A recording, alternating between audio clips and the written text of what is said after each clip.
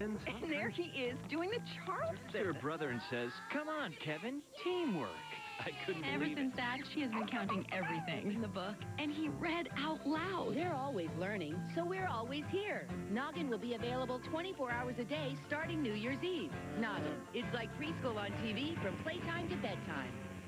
And me! Me too! We'll dance, sing, and pretend. Blues Clues is next. Clues enhances preschoolers' problem solving and metacognition. This show is made for Noggin by Nick Jr.